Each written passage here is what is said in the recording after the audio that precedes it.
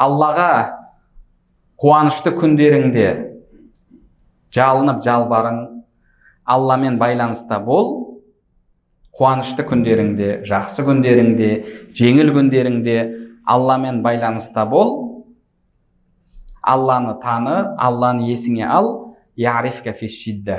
Алла тағала сен қиыншылыққа тап болған кезде басыңа іс түскен кезде сені есіне алады деді. Жақсы күндерде құдайды ұмытып кетсек. Сондай адамдар бар ғой. Ісі жүріп тұрса мешітке бармайды құдайды есіне алмайды той берсе бағанағы арақпен той береді.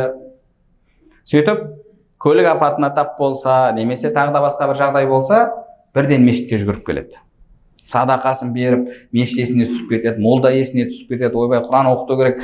Ойбай ана оң қалды ма? Жеті шелпек пісір таратып жіберейік деп. Ең жаман адам ол басына іс түскенде ғана құдайды есіне алатын адам. Пайғамбарымыз саллаллаху айтып жатыр жақсы күндеріңде алланы есіңе ал алла тағала қиындыққа тап болған кезіңде сені есіне алады деді.